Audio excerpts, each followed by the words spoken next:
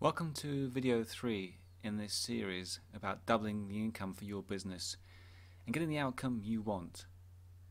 Very importantly, there are many things that you're assuming about yourself and about what you can achieve with your business.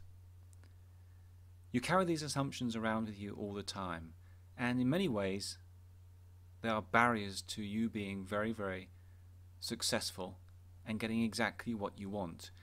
And I've chosen something which is an image from May the 6th, 1954. You may not be a fan of athletics or you may not know who this is, but this is a young trainee doctor who did something which had never been done before. He ran the mile in under four minutes for the first time. It was a record that had stood for in almost a decade, no one had run below four minutes. The record was four minutes and one seconds for a whole decade. No one could break through that barrier. But this young man, trainee doctor Roger Bannister, he believed that he could get through this four minute barrier. He believed in himself. And if you don't believe in yourself, don't ask anyone else to. What was extremely interesting was that over the next three years, there were more than 16 runners who logged sub 4 minute miles.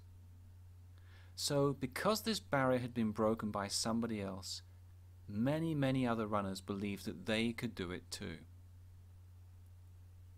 Many business people have gone on to be super successful because they have the belief. So let me ask you to try this experiment when you go home or when you are at your office sometime and you have a few spare minutes. Find out what your beliefs are and how you can change them. What beliefs are currently working well for you? What beliefs aren't working for you? What's stopping you believing in yourself and what needs to change in order for things to happen? What do you need to change to get your desired outcome? Don't be like all those other runners who waited for Roger Bannister to break the sub 4 minute mile. You can take control. Picture yourself a year from today. Where will you be? What will you be doing? And how will you feel?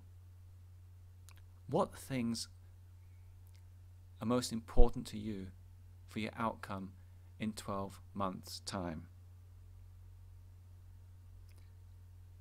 Next video will tell you about resources you need to get the knowledge so that you can put your belief into action. Thanks for watching. Look forward to seeing you on the next video.